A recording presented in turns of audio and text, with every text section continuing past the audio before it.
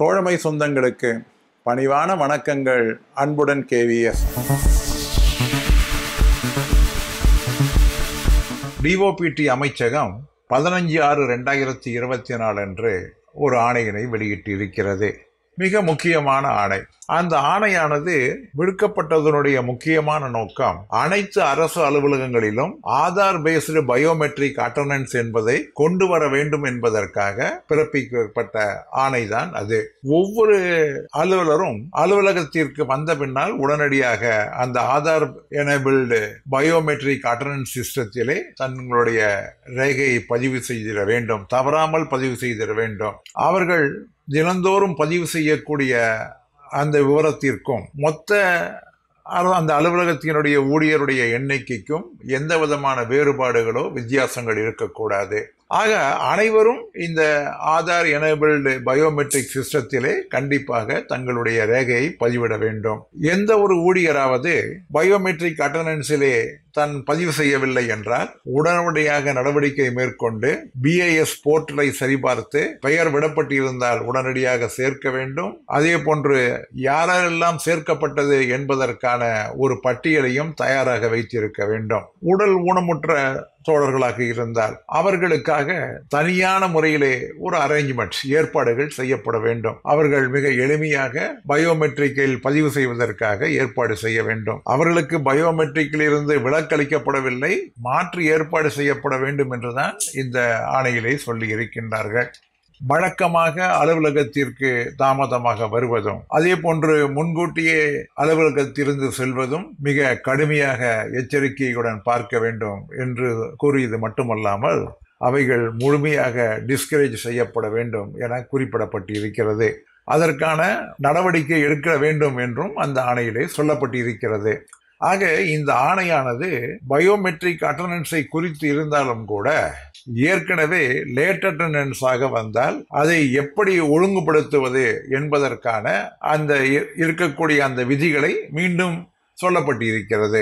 அதாவது டிஓபிடியினுடைய நாலு ஏழு ஆயிரத்தி தொள்ளாயிரத்தி எழுபத்தஞ்சு ஆணை இருபத்தி ஏழு எட்டு ஆயிரத்தி தொள்ளாயிரத்தி எழுபத்தஞ்சு ஆணை அஞ்சு மூணு ஆயிரத்தி தொள்ளாயிரத்தி எண்பத்தி ரெண்டு ஆணையிலே லேட் அட்டண்டன்ஸ் குறித்து என்ன சொல்லப்பட்டு இருக்கிறதோ அவைகள் இன்றும் தொடர்கின்றன. அதிலே எந்த விதமான மாற்றங்கள் என்பதும் இல்லை.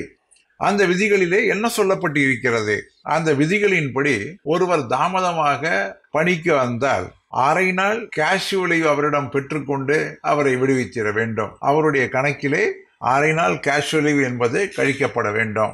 ஒரு மணி நேரம் வரை அந்த தாமதமாக இருந்தால் அதை செய்ய வேண்டும். அல்லது இதே போன்று ஒரு மணி நேரம் வரை தாமதமாக அலுவலகத்திற்கு வர நேர்ந்தால் அதற்கான சரியான காரணம் என்பது இருந்தால் மாதத்திற்கு இரண்டு முறை அவைகளை மன்னித்தருளக்கூடிய கண்டோன் செய்யக்கூடிய அதிகாரம் என்பது அந்த அலுவலகத்தினுடைய தலைமை அதிகாரிக்கு இருக்கிறது. ஒருவர் வழக்கமாக பணிக்கு சரியாமல் வராமல் தினந்தோறும் தாமதமாக வருவதையே ஒரு ஒரு வழக்கமாக கொண்டிருந்தால் அவர்கள் மீது ஒழுங்கு நடவடிக்கை எடுக்கலாம். அதே போன்று அலுவலகத்திலே முன்கூட்டியே செல்வதும் கூட அதன் மீது கூட நடவடிக்கை எடுக்கலாம் என்று இந்த ஆணையிலே சொல்லியிருக்கிறார்கள். மிக தெளிவாக உள்ளது. அந்த நாலு ஏழு ஆயிரத்தி தொள்ளாயிரத்தி எழுபத்தஞ்சு இருபத்தேழு எட்டு ஆயிரத்தி தொள்ளாயிரத்தி எழுபத்தஞ்சு அஞ்சு மூணு ஆயிரத்தி தொள்ளாயிரத்தி எண்பத்தி ரெண்டிலே சொல்லப்பட்டிருக்கக்கூடியவர்கள் தான் ஒருவர் தாமதமாக அலுவலகத்திற்கு வந்தால் ஒரு மணி நேரத்திற்குள்ளாக இருந்தால் அரை நாள் கேஷுவலி வாங்கி கொண்டு அவர்களை விட்டுவிடலாம் அதே போல ஒரு மாதத்திற்கு இரண்டு முறை வரை ஒரு மணி நேரத்திற்குள்ளாக தாமதமாக வந்தால் அதை மன்னித்தருளி ஆஃப் டே கேஷுவலி கூட வாங்காமல் மன்னித்தருளக்கூடிய அந்த அதிகாரம் என்பது அதிகாரிக்கு இருக்கிறது. ஆக ஏதோ ஒரு நாள் தாமதமாக வந்தார் என்பதற்காக சார்ஜ் ஷீட் கொடுத்தால் அது முறையல்ல. இந்த விதியை மாறியதாகத்தான் அமையும்.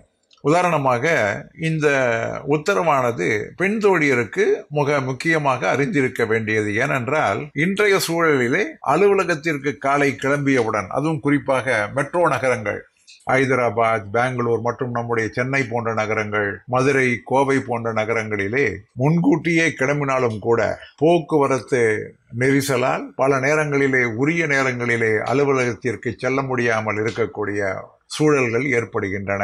அது போன்ற சூழல்களிலே எல்லாம் ஒவ்வொரு நேரமும் அவர்கள் கேஷுவல் லீவ் கொடுக்க வேண்டும் என்கின்ற ஒரு நிர்பந்தப்படுத்திடக்கூடாது அதற்கு மாறாக மாதத்திற்கு இரண்டு முறை மன்னித்தருளக்கூடிய இந்த ஆணையினை முறையாக பயன்படுத்திட வேண்டும் என்பதுதான் அனைவருடைய விருப்பமாக இருக்க முடியும். ஏனென்றால் மும்பை நகரத்திலே இருப்பது போன்ற ஃப்ளெக்ஸி ஒர்க்கிங் அவர்ஸ் என்பது சென்னையிலே கிடையாது தமிழ்நாட்டிலே கிடையாது.